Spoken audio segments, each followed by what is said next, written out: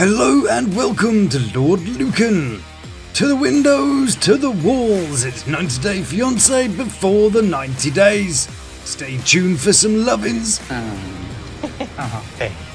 And Riley goes on tour, It's crazy. and we're treated to some American culinary skills. I'm more of like a microwave person. Well then, a sweet home to your Alabama, and a thank you for joining us. Much warmth to the beautiful people who have subscribed, and a table for two overlooking the orchard for the pinball wizards of Lukan Manor. First up, grab your granny and fling her to and fro, and you know who we're off to see. G-I-N-O Gino. Gino, Gino, Gino, Gino, Gino, Gino, Gino. And Gino's dreaming about his perfect little day. He's on top of the world, champion of his division. He's got the wind rushing through his hat and the world at his feet. Woo! Strong finish. But like life, sometimes it's easy to get carried away with the moment and you end up crashing back to reality. Oh, but don't worry, everybody's okay and walks away from the ordeal. Oh, that was fun. Yeah, that's what Gino said. Gee. But tonight is no ordinary night. Okay, well, maybe it's Jasmine's little sister's birthday, but you know, no one cares about that. Gino's in serious mode. So, He may look like he's some kind of jockey for the Candyland stables, all coordinated with the ice cream shop, but he's all business. I have something here for you, Jasmine. Ah, yeah, I love it when Gino's been shopping. In fact, I'd watch a whole show about Gino shopping incompetently for people. But what's he got today? It's pretty small, so Jasmine's probably quite sure it's not another fanny pack, so she tries to sound excited. What is it? Could possibly be his manhood. Well, Okay, so now you're building it up. This had better be good, Gino. Do we need a drum roll for this? Think you might like it. Possibly, yeah, if you if you can figure out how to open it. Bloody hell, Gino. That's how you work the audience for suspense. Right, drum roll. Here we go. What the hell is that? Okay, well, that bit's a ring. What happened to the box? Nothing says quality like a bit of see through plastic. But Gino apologizes for everything and gives her a ring as a promise that he'll be more attentive and thoughtful as a lover. Uh, give you more, uh, meat? Then Gino tells Jasmine all about the wonderful things that he loves about her. All the things the counselor told us. A moving testament, I'm sure you'll agree. So Gino asks. Do you like it? She says, I do. and Gino does some sort of creepy baby talk thing. Hey.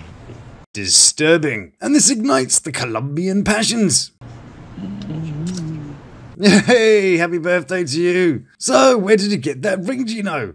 We didn't see you sneak off. like a vendor selling many different things. I love Jasmine's face when she hears about the ring's origin. I think she wants to know, but at the same time doesn't want to know where it came from. But she's trying to put a brave face on it before she accidentally loses this one too. So they marvel at the design, which has two hearts on it. One heart represents you, and the other heart is me. Yeah. Wow, my mind's blown too. Two hearts, two of us. Whoa, that's some crazy creativity going on there. Aw, you're romantic. I like when he's romantic. And while I collect my mind from around the room, Gino's off to entertain the crowd with some talking. Una bolita Bonita. y, um, Bless him though, he's giving Spanish a shot for the first time in two and a half years. más tarde. I used to know the word. Yeah, I think you sound a bit mistarded too. And we land with a thump in Vietnam, where Riley's decided to get a bit crazy, seeing as he's got the city to himself. Tonight, I decided that I'm going to venture out in Ho Chi Minh City. But don't worry, he's got Tom the tour guide to give him a lift on his moped. it's crazy. Yeah, he'll be fine. I mean, what could possibly go wrong? It may only be little compared to somewhere like the US, who have around 6,000 deaths on the road per year. But in Vietnam, it's 8 and a bit thousand. The chance of dying in the US is 0.99%. In Vietnam, it's 26%, or 1 in 4. So, by that rationale, if these four delightful individuals were in Vietnam, at least one of them would be doing themselves a mischief. And you know it's not going to be Dave here. He's an actual superhero, you know. You can tell by the mask. In Vietnam, statistically, someone on the road dies every hour. Maybe some people think they're only allowed one an hour. So if they see an accident, they think, ooh, I can drive like an absolute mentalist for the next 59 minutes. So off they go, pulling into moving traffic with no indicators or, you know, looking at stuff. And then we're off on the Midnight Express of Love.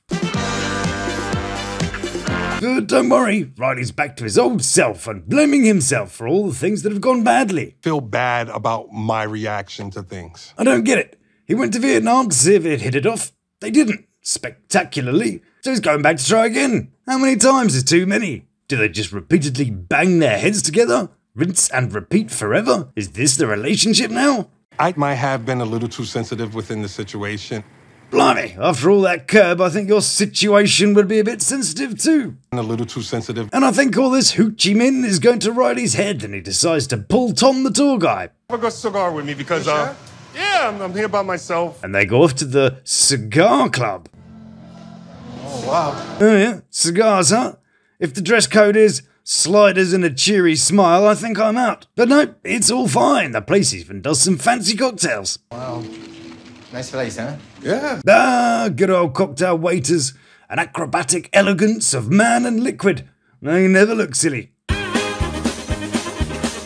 And the waitess is good thanks. Good thing.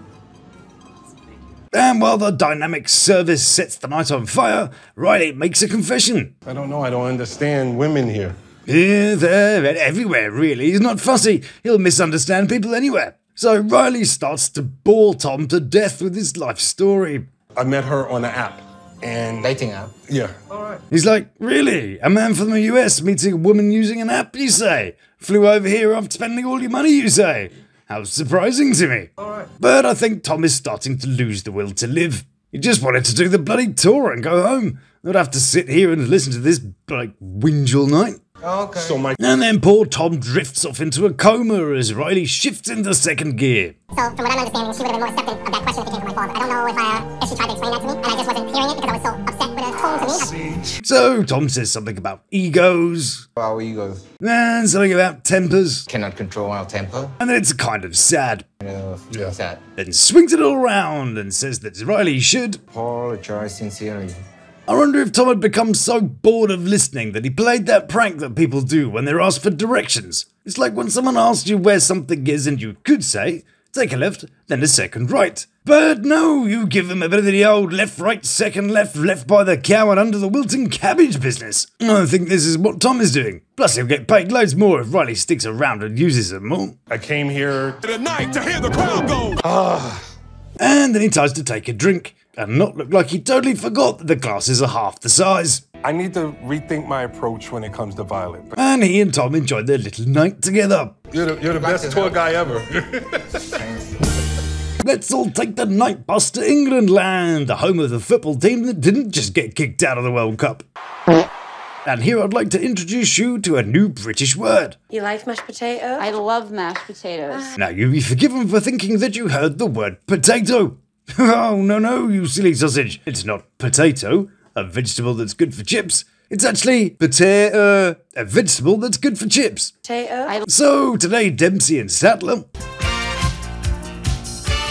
are making dinner. I'm more of like a microwave person. You don't say, Miss Ramsey. And then they have some talk about fidelity, and it all got a bit boring. And when I realised I'd zoned out, this was happening. So everything's fine. You know, we don't need to worry about it. Before we go, let's look at what's happening in the next thrilling episode. Gino's taking charge. You've been a bad, bad girl. Traffic and weather is back, and she's. Feeling just super confused. Me too. I thought you like went home or something. The Amandabot 3000 meets some of Razvan's friends. Hey! Yeah, nothing can go wrong there. And Christian feels a bit of straight guy remorse. For him to go on and lie about our intimacy, I feel like I've been manipulated. And Tyray is going to meet the person that isn't the person that he thought she was. Last week, the real Carmella told me she'd be open to meeting. Well, there you have it for today, you wonderful human being. Thank you so much for joining us and spending a little time by the hearth for stories. If you liked it, please give me a little thumbs up and check out one of these delightful other video y things. So until next time, stay beautiful, love to my three. You take care of yourself.